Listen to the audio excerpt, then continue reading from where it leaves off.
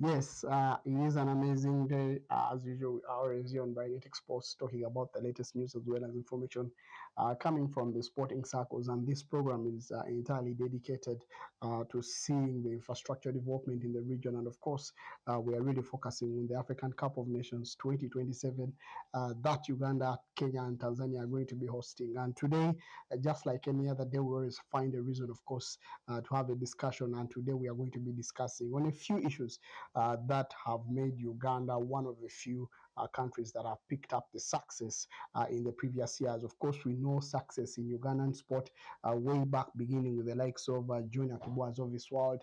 Uh, we've seen the likes of Justin Jukos of this world, the Dorcus Inzikurus of this world, and now uh, the netball cranes are really are doing wonders out there. If you've been following them, then you know what they've been doing, especially in the netball scene, uh, beating the likes of uh, uh, that is uh, England and all the other big teams there. Rugby as well, we are doing wonders. And then the other also question would be. Uh, in football, are we really going to be succeeding like the others? Of course, uh, slowly by slowly, after a very long time, uh, Uganda qualified again for the African Cup of Nations, and now uh, they've been at least at uh, uh, two editions of this interesting game, and now we are going to be back, and it's going to be another way forward. And now we are hosting the tournament in 2027. So there's been a lot of things that have been changing, especially in this game, and uh, it has been attributed to a lot of things. Some of it has been due to the growth of the nation as a whole, uh, but also we cannot go away without talking about the governance. We talked about the government as well, uh, with the way it has structured uh, sports. For the first time ever, we are seeing sports being discussed on the floor of parliament as an issue. Not talking about uh, bringing people that have won medals like the Dorcus and Muzuku's of this telling them we are giving you cars and all that. They are looking deep into the financing of the sport because they are seeing what it can really bring, uh, how much it can really contribute to the nation. And uh, that was seen this year, especially in build up to the African Cup of Nations. Uh, the budgets are really being passed now. We are really now looking at uh, growth uh, billions and billions of dollars that are really being invested in the game. And to me, I can attribute the success to a lot of things. One of the things that I can attribute the success is the government itself, because you cannot do anything if the government does not believe uh, in you. In Kenya, we've seen it. Uh, President William Ruto is involved in anything. Uh, in fact, he came out when they were uh, coming out and confirming that that the Talanta uh, Hela Stadium is going to be constructed. He said that he will be monitoring on a monthly basis the stadium. He will be being there. He will be going there physically, and saw that uh, this month he went there physically to see the progress. And uh, Samia Suluhu of uh, Tanzania, I don't know if I've said the name right. Uh, she's also one of the few people that are really, really. Uh, I'm really surprised by her interest, especially in sport. Uh, the new stadium in Arusha, I got to know that it might be named after her. Yes, that really to me shows you that all the presidents of the East African regions are a little bit excited of what is happening in that region. And of course, for Uganda, our president is a little bit older than uh, the two presidents in there. So you'd think that uh, the things that he picks interest in uh, might not be too specific or too obvious. Uh, but you've seen that installing Janet Museveni, uh, the first lady, as the Minister of Sports, uh, has done wonders for Uganda. You don't know what kind of position, of course, uh, you, you don't know the kind of position that she holds and uh, how it really is going to be benefiting us as sports people. We've seen the dividends of this. Uh, one, Uganda is going to be constructing one of the biggest arena, indoors arena in the country. Uh, that is at the Lugogo complex. It's going to be constructed soon. Of course, a lot of people asking why is the progress not there already. I have told you Uh, again and again that uh, Summa uh, construction company from Turkey that is constructing right now the Hoima Stadium are the team that are supposed to be constructing that stadium. So they have to first get done. That's like they got done with uh, Rwanda. Uh, then they have to move on to the next project, and uh, that's to me is uh, something that is, is a sure deal because we saw the contracts being signed, the president meeting them in person. So I think the government will do anything to see that that project is really put to do into completion. like I told you, the Hoima Stadium is under construction. Akii Bua Stadium or construction has not begun yet, but government committed themselves to really constructing it, and they say they are going to be constructing. We've seen uh, the uh, State Minister for uh, Sports, and uh, of course, uh, Mr. Peter Ogwang coming out and re-emphasizing uh, there every time when he comes in, he says, you know, we're going to be doing it. So let's give him a benefit of the doubt. We've seen Natural Stadium being renovated in this era and a new look of someone will say, in which era did you expect it to be renovated? because we've had a very uh, president who has been there for a very long time, so we don't have a lot of eras for us to talk about. But the truth is, um, it has been constructed, reconstructed. It is now a very good stadium that looks very good, and of course, they're working on the drainage systems. If you've watched around social media, you're now seeing how they're cleaning the drainage systems because one of the few requirements that CAF uh, gave this gentleman uh, for the Ham Stadium. It's not usually talked about as a stadium that will be used for the African Cup of Nations, but it might be used for training purposes. Uh, is to clean the channels and all uh, the outlets, the parking system as well, for it to be given that kind of guarantee that it can really host uh, those big matches in there. So it is also something that we've seen being renovated. We've seen success uh, of um, the athletes in Uganda here. Uh, the uh, you know the, the, likes of Joshua Cheptegei, and one of the few things that are really is attributed to the good performance is first of all our neighbors Kenya, the high altitude center that we've been really sharing in there. But we also now have our own uh, in Kapchorwa, one of the best that you can never find in East Africa. Uh, it has modern uh, facilities, it has hostels, it has a good environment, it has a good running track, and uh, it has, of course, uh, the, the floodlights where you can do, of course, the evening as well as the day training. So there is beauty when it comes to that stadium. So it's another other infrastructure that has also been built. So for the people in athletes, it's not been just by the way that people have just come in and started, you know, doing uh, good things when it comes to uh, you know long distance. Uh, of course, we share uh, the same blood with a lot of people in East Africa, in Kenya as well as Tanzania, and of course the people that come from that part of Kenya that produces some of the best uh, runners. Of course, we also share names and we share families in there.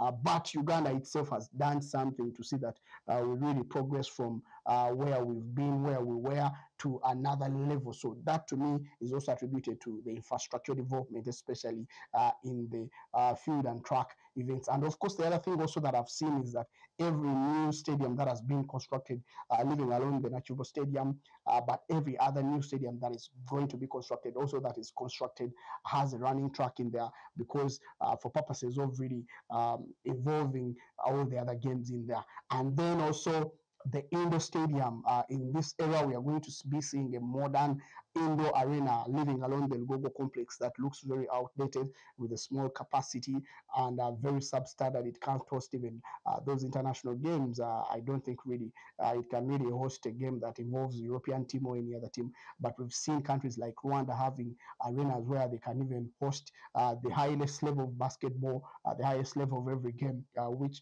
of course we always look at the NBA, NBA as the yardstick for us to measure what is the highest level. they've hosted games from uh, the NBA series in there. So uh, it's a beautiful indoor arena, and Summa Group that is already, uh, of course, given the duty of constructing the stadium uh, that are already constructing the Hoima Stadium are the people that are going to be constructing the Lugogo uh, complex. It's going to be a big capacity stadium, and of course, I, I got to know that there are two of those arenas that are going to be constructed in Tanzania as well. Uh, 15,000 capacity uh, is what has been earmarked as uh, those for Tanzania as well as in Uganda here. So 15,000 to me, uh, the, the one in Rwanda, I think is 10,000 or 12,000. Uh, what I know is that uh, our our uh, indoor arena will be a little bit bigger. And then the other thing about uh, the infrastructure development, especially in the indoor arena, it ca covers all the other things like basketball, netball, and all the other games. We've also seen success in uh, netball as well, where the Uganda Cranes team, the She Cranes, uh, go all the way and beat countries like England. Uh, they go and uh, you know beat some of the biggest countries in the world of netball. So uh, it is it is looking good for the sporting circles. And of course, uh, before forgetting, all the other stadiums that are going to be constructed, including the Hoima Stadium, uh, Namboole Stadium, that is also being still renovated. Uh, people think that it's done. No, that it was phase uh, two. Uh, I think there's phase. Three. Was it phase one, phase two? I think it is. Uh, the first phase was the fencing of it and uh, reclaiming the land and all that stuff. Then the second phase was the actual renovation of the stadiums. Phase three is uh, constructing the indoor arenas around the stadium and also uh, really co covering the, the, the, roof as well uh, because uh, having a covered roof is something that uh, is a requirement. And if you've seen some of the videos of inspections that are being done by CAF, they really, uh, the reason why some games are really late in the night is because uh, you don't have to have issues with, with the sun and all that, that thing that affects things like broadcast. Because sometimes these open stadiums, when you're pointing a camera to a direction and then the sun is rising or setting, so it's setting, because usually the games are played in the evening, it is sometimes very challenging. So they are fighting those kind of issues uh, to see that they don't affect the game. So we are going to see that uh, being done to Namboole Stadium. So a lot of people have been talking about how uh, the stadium is looking. Uh, they are comparing it to the other modern stadiums in the region, uh, but it's going to get there slowly but surely. And then uh, the other thing is that indoor arenas, like I told you, in every other stadium in Hoima, we're going to have an indoor arena, uh, even if it's a small capacity. In Namboole, we're going to have an indoor arena. Uh, then we are also having training centers like Kyambogo. We're having the Kadiba Stadium that is also under renovation. We have also um, the private stadiums that are also being constructed. If you've been around Entebbe, uh, that is, uh, you have the Godwin uh, the Denver, Denver Goodwin uh, Stadium that is already there uh, all the way in uh, Garuga. It is one of the private ventures also that is uh, picking up very fast and uh, I'm yet to get really a good progress report, but it's also one of the few things that is happening all the way in Entebbe. So it's also another private stadium and we are seeing the likes of the Speaker of Parliament as well. she has a school as well. so she, she, she's really constructing another good stadium in her school. Uh, of course, uh, you remember she's uh, the wife to uh, the FUFA president. So everything that is done in uh, that stadium is also up to standard. And I think Ingia Moses Magogo really would want to really uh, take the level of that stadium to the level where you have the likes of St. Mary's Kitende, uh, which is a school stadium, uh, but also Vipers uh, Football Club is also sharing it. So uh, there is a lot that is happening, especially in the sporting circles. And you know that government already passed a lot of monies to go into the construction of these stadiums and also in construction of these arenas as well. So I entirely think that it has been uh, the work of government and especially the first lady who uh, uh, up to now I didn't know that she had interest in sports, but I think education and sports is something that you cannot uh, you cannot take those two away from each other. So uh, you can either excel in sports, but most of the people that have excelled in sports have gone through the uh, education levels. So we get these stars from schools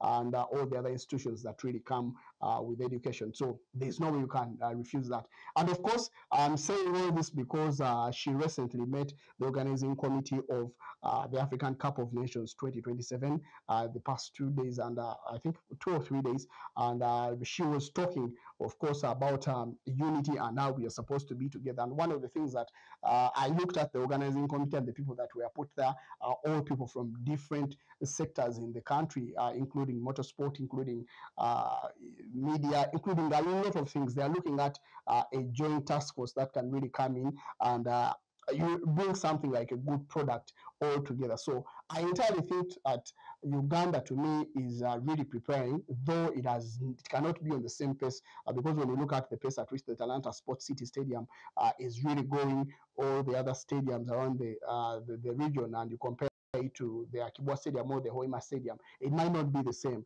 But we all know that by uh, the time we get to 2025, uh, December, all the stadiums will be done and uh, we shall be preparing. Already, you all know that uh, this coming year, February, we are going to be hosting the CHAN. So already CAF has sent in its officials that are already in the region uh, that have been uh, in Uganda. They've been here, they've met the uh, First Lady, they've talked to her, they've uh, got assurances, they've toured all the areas that are supposed to be toured, including hotels, including uh, stadiums, including uh, all the other facilities, road networks, to see whether the countries are really ready and they are really impressed with what is happening in Uganda. So they are going to be doing that for all the other three countries, including Tanzania.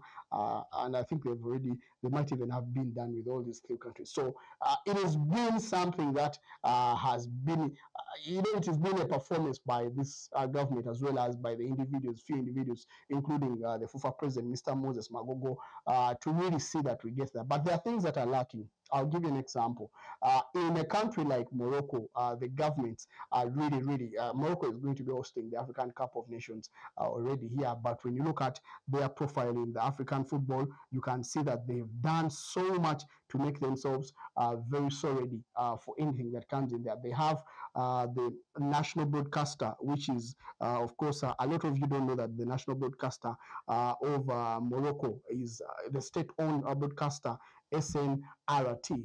It is uh, one that has the media rights for uh, a lot of the games. It's going to be having the media rights for um, for the African Cup of Nations, that is uh, uh, 2025. Uh, and uh, I've tried looking through what they've done to really make themselves uh, very ready. First of all, they are part of uh, the European Media Group, and of course, they have partnerships with the likes of Euronews in there, and uh, it is one of the things that I've, uh, I'm impressed when you look at. It is called the Societe Nationale de Radio Diffusion et Television. It's in Morocco, and of course, uh, it's known for SNRT, that is the abbreviation, and of course it uh, obtained, of course, rights to broadcast uh, the 2022 FIFA World Cup matches. That was uh, 10 of them. Uh, it also, uh, on November 5th, it also obtain rights to broadcast the 2023 CAF Women's uh, Champions League. Uh, and of course, uh, we all know that IMG, International Media Group, uh, from the US is responsible for distribution of the media uh, around internationally because this in SNRT, their media rights only stop in, I think it's in sub-Saharan Africa here. I think, no, the, the IMG rights are the ones that stop uh, internationally because you have uh, Middle East and North uh, Africa uh, region and Sub-Saharan Africa, SNRT, uh, had a, uh, you know something to do with uh, an understanding with CAF. Uh, but the IMG, the international media group that comes in from the US, is a group that really uh, works with uh, CAF on so many matters, statistical, uh, you know, things to do with uh, advice, to do with statistics and all that stuff.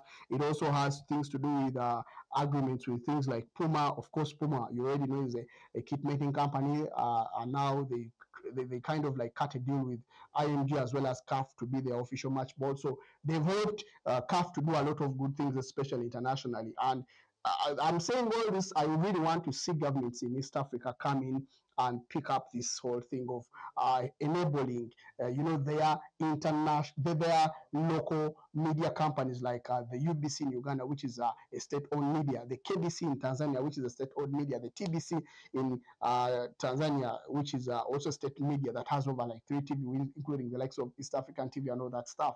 Why can't they come in and create big entities that can really start buying these media rights and distributing them and doing things, even local productions. I'll give you an example. Uh, because now already, if you if you know who has the rights to broadcast uh, the African Cup of Nations games around the region, we have Azam, we have SuperSport, and uh, you cannot find, of course, uh, a lot of uh, government-owned or state-owned medias that do that because they have the money first of all, uh, but the infrastructure really, to me, is uh, they are compromising when they are in investing in infrastructure. Uh, when you look at, of course, how much uh, equipment that UBC has and what they can do when it comes to broadcasting of a game. I really don't know why they don't pick that up because it is big business, it is money, and uh, I don't know why they don't really pick it up. I'll be coming here and, of course, giving a, a detailed uh, video talking about what uh, the state can do and what other ventures they can get in uh, because I see time is not my best ally. Uh, but I'm really, really very grateful seeing that uh, we are developing as a nation and we are not uh, doing it alone, but we are doing it as a whole. The government is involved. The people are excited uh, in East Africa. They're all excited. You can see from the comments, we're excited to see African Cup of Nations come to here uh, to East Africa, but also the whole Africa is excited to be visiting uh, Uganda, Tanzania, and Kenya because they look like some of the best countries. Uganda is the pearl of Africa. Kenya is uh, one of uh, the uh, social, political, economic hubs of Africa. Tanzania is the number one destination when it comes to tourists in East Africa. So those are three countries that really can give something uh, back to Africa if at all uh, we are really trusted with a lot. So let's wait and see how things will be faring. But thank you so much for being part of this Brynetic Sports. Stay safe, and enjoy your day, and bye bye.